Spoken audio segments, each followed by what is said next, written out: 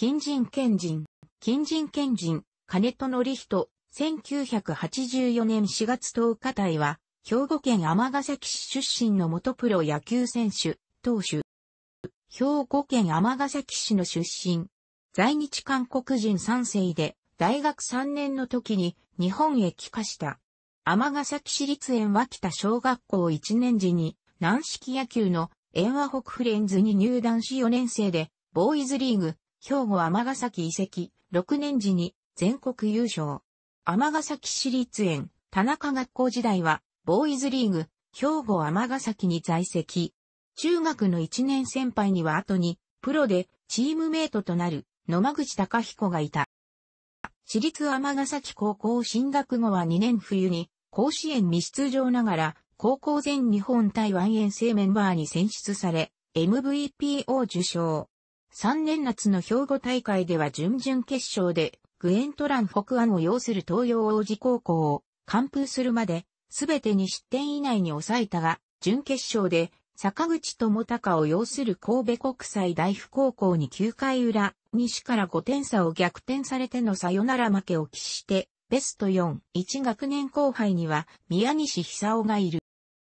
高校卒業後は、関西学生野球連盟所属の立命館大学へ進学し、1年秋の京都大学戦で、リリーフとして、秋の田中総司以来となる1年生でのリーグ戦、初登板。その後、関西大学戦で、初先発し、最終節の同志社大学戦で1失点、関東勝利を挙げた。2年時には、春季リーグ戦で優勝して、第53回全日本大学野球選手権大会に出場し、初戦で徳山大学に敗れたものの最速時速 144km を記録。3年の秋季リーグ、京都大学戦でノーヒットノーランを達成した。4年時には春秋連続でリーグ最多奪三振を記録し、秋は最優秀投手とベストナインにも選ばれた。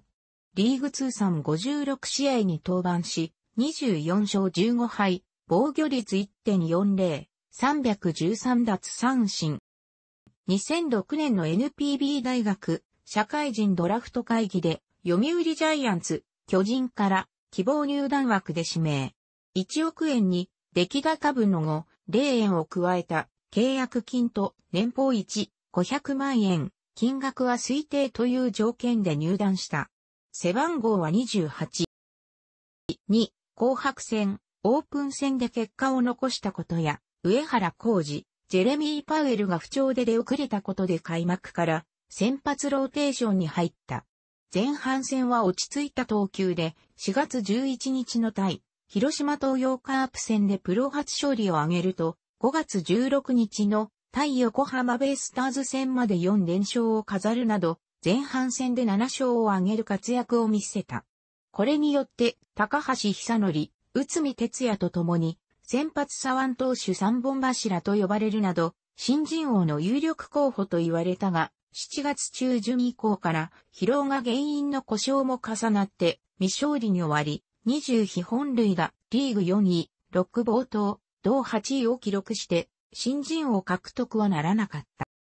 は8試合に登板したが、請求難から自滅する試合が目立ち、防御率も8点近くまで悪化。多くの支給を与えるなど制裁を欠いた。イースタンリーグでは13試合に登板して8勝、2敗、防御率1.66を記録し、最多勝ち、北に久美、吉木と同数、最優秀防御率、最高勝率を獲得した。もうイースタンリーグで19試合に登板5勝4敗、防御率1.80の成績を上げた。同年シーズン終盤に昇格すると、中継ぎで5試合を無失点と結果を出し、クライマックスシリーズや日本シリーズでも中継ぎで登板した。山口哲也の先発転向を受けて、左の中継ぎとして期待されたが、投球フォームの変更が裏目に出て、防御率5.03と制裁を欠いた。2、3年ぶりに先発復帰すると、5月12日の対、横浜ベイスターズ戦で、シーズン初勝利を2007年以来4年ぶりとなる先発勝利で挙げた。2は、イースタンリーグ公式戦21試合の登板で、3勝2敗、防御率2.17を記録。しかし、一軍公式戦への登板機会はなかった。2012年11月13日に、中、沢広本と共に東北楽天ゴールデンイーグルスへの移籍が発表された。横川志学、イノタクトの交換トレードによる移籍で、背番号は26には、4月に移籍後初の一軍昇格を果たすと、一軍監督の星野千一から投球フォームの改造を進められた。これを機に、従来のオーバースローからサイドスローへ転向すると、チームのリードを背負っての救援を中心に、一軍公式戦で39試合に登板。防御率も自己最高の1.85に達するなど、チームのパシフィックリーグ及び日本シリーズ初優勝に貢献した。9月3日の対埼玉西武ライオンズ戦、クリネックススタジアム宮城では、移籍後初勝利も記録。一軍公式戦では、前述した2011年の先発勝利以来、788日振りの白星であった。2は、公式戦開幕直後の4月2日に1軍へ昇格すると、ワンポイントリリーフとして公式戦に登板。しかし、被安打や四死球が投球イニングと、ほぼ同数に達するなど、投球内容が安定しなかった。5月30日に、フルス、巨人との交流戦、クリネックススタジアム宮城で、ブルペンでの投球練習中に背中を痛めたため、翌31日に出場選手登録を抹消。後に一軍へ復帰したが、一試合の登板にとどまった。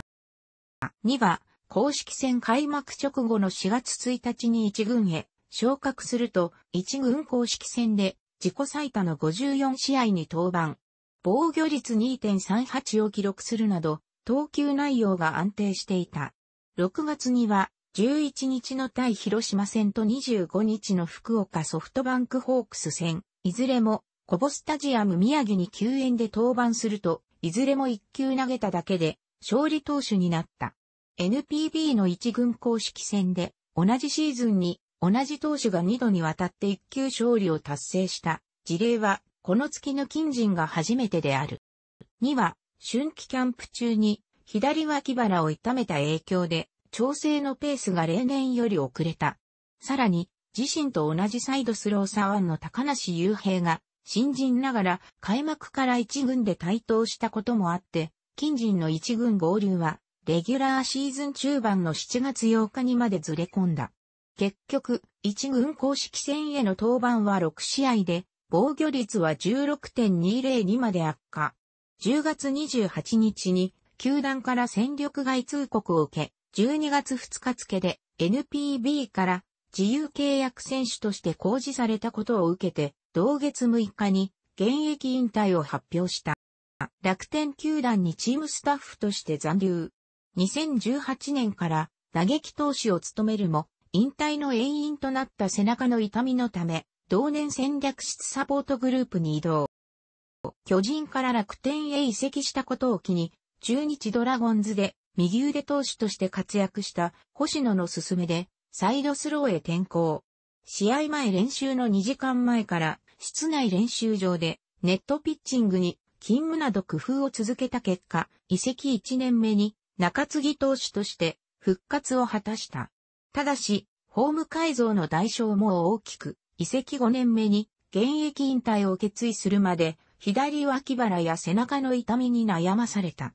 近人自身は引退に際して、巨人1年目、2007年の対広島戦で、翌2008年にロサンゼルスドジャースへ移籍した黒田、弘樹と投げ合った末に、プロ初勝利を挙げたことは、自信にな。その巨人から楽天へ移籍したことは、自分にとって野球選手として一度死んだようなものだったので、楽天から戦力外通告を受けたら、現役を退こうと決めていた。星野監督からサイドスローの転向を進められた当初は冗談かと思ったが、あの勧めがあったおかげで、一度死んだ身でも楽天で5年にわたって投げることができたというコメントを残している。